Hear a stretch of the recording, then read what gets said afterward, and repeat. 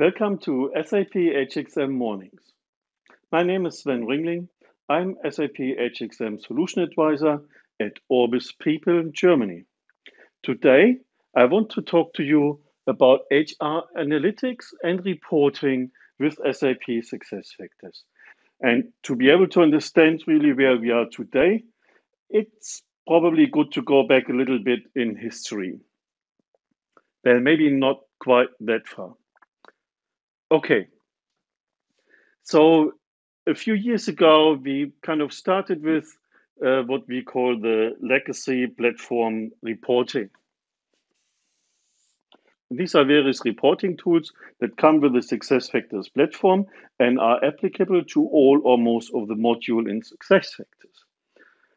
They are part of the platform and therefore there's no extra fee. So just to name the most important ones, there's ad hoc reporting, online report designer, BIRT templates, and then the YouCalc dashboard builder. And depending how you count, there are at least three more of them. This is for more or less operational reporting. And the sheer number of the tools makes it very difficult for users to decide which is the best use for which purpose. And frankly, some of them are quite uh, heavy on the user experience side. Next to this, we had the workforce planning and workforce analytics tools. In terms of cost, these were different modules with each with their separate subscription fee. A few years back, uh, SuccessFactors decided that they want to move these tools onto the HANA database to give them a more modern foundation, make them a bit uh, better on the performance side. So we would talk about workforce planning on HANA and workforce analytics on HANA, which is still available uh, today as we speak. And then maybe three years ago, uh, everybody was talking about the new people analytics solution, which would have encompassed the People Analytics Planning Edition, People Analytics Advanced Edition, and the Embedded Edition. The Planning Edition was to replace the WFP, the Advanced Edition was to replace the WFA, and the Embedded Edition was to replace all those platform reporting tools. Eventually, these two didn't materialize under these headlines. But in terms of the analytics, the strategy of SAP was always to go for the bigger picture and basically cover the analytics and strategic planning parts with the SAP Analytics Cloud or SAC. And this is where I would say we are uh, regarding today's uh, strategy. That if you would start with the analytics project with SuccessFactors today, we would tell you to look at SAP Analytics Cloud, which can be fed with uh, SuccessFactors data directly, but also through a WFA connector with the aggregated data out of the WFA module. And this WFA module, this is still there, but actually should put the box around the HANA. So in the SAP Analytics Cloud, we do have obviously the analytics part, as the name suggests. We have also the SAP Analytics Cloud for planning, which is basically replacing the WFP product, which as of today is no longer being sold, basically soon to be sunset. If you look further on this SAP Analytics Cloud journey, this is really an ongoing journey. And the idea is that uh, rather than relying on data aggregation from the workforce analytics solution, at one point there is a separate like uh, living space for data from all SAP solution. It's called the Data Warehouse Cloud. So that SAP Analytics Cloud, which is basically a front end analytics tool, can actually get its data from there. And this again would pick data from SuccessFactors, but could also pick it from other SAP solutions, uh, most notably the S4 ERP solution.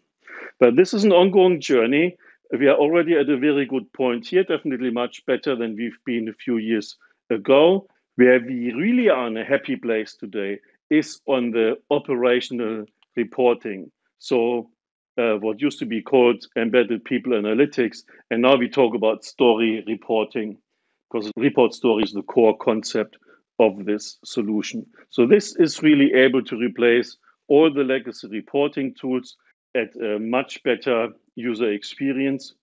And this is where I actually want to bring in our resident SuccessFactors analytics and reporting guru, Chris Wilpert, who will talk a little bit about uh, the benefits and the restrictions of story reporting in people analytics. Hey Sven, thanks for having me. It's a pleasure. You're welcome, Chris. So, would you like to share some thoughts on story reporting with us?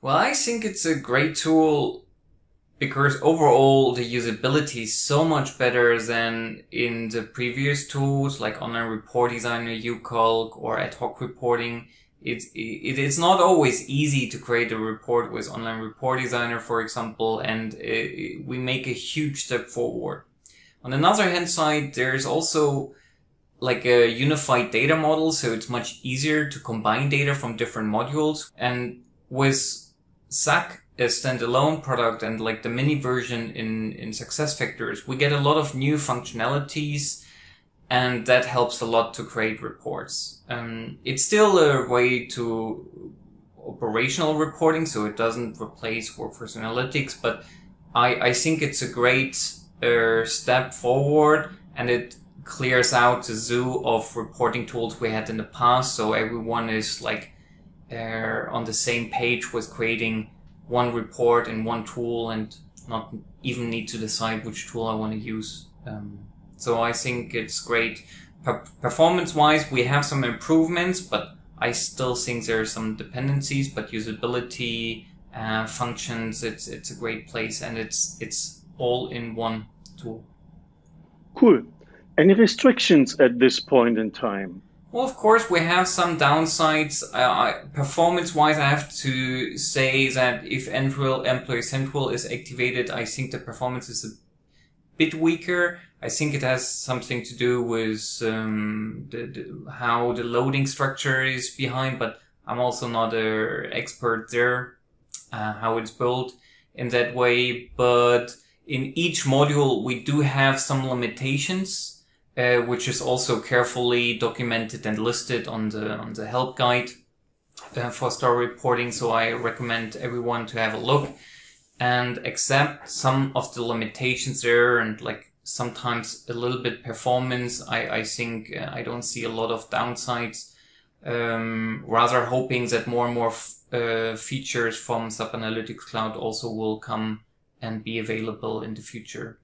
Excellent. Thank you, Chris. Yeah, well, thank you so much uh, for your questions, and I hope everyone has a good time with story reporting.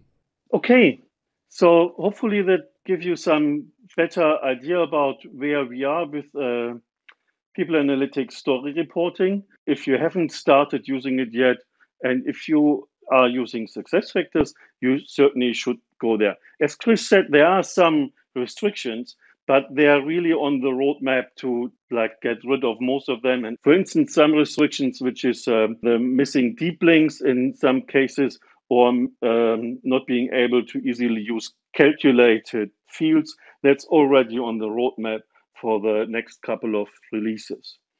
Um, but one thing before you actually get to story reporting, uh, there is the identity services you need to set up. So this is a purely technical setup, but it's absolutely important to get this done. Otherwise, you can't use story reporting. Why is that? If you look at the technology behind of it, story reporting is kind of using SAP Analytics Cloud as a technology.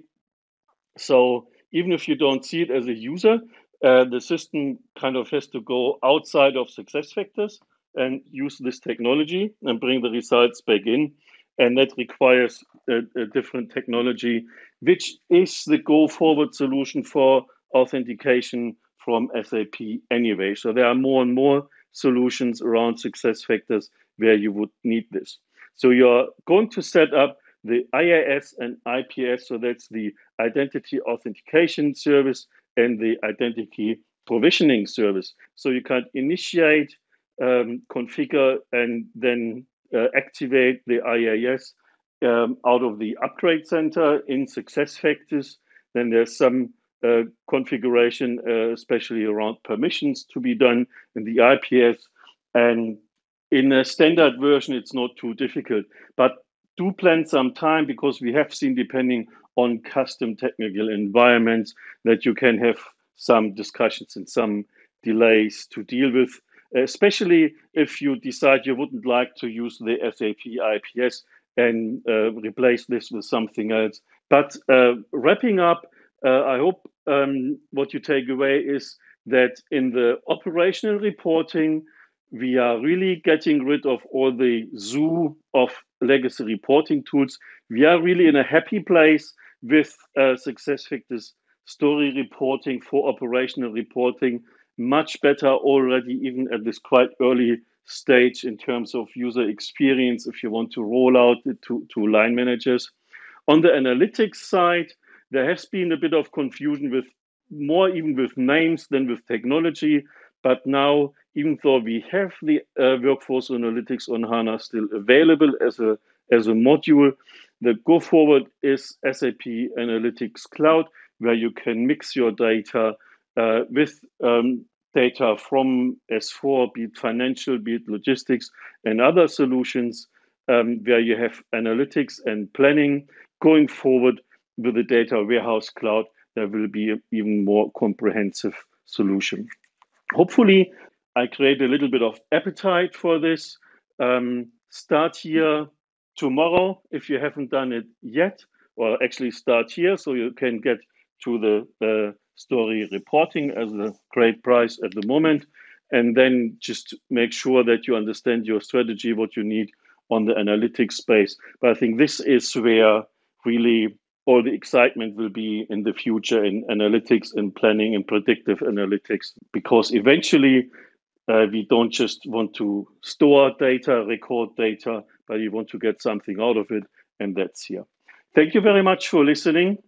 And hopefully you will tune in next time, even though this session was a bit longer than usual.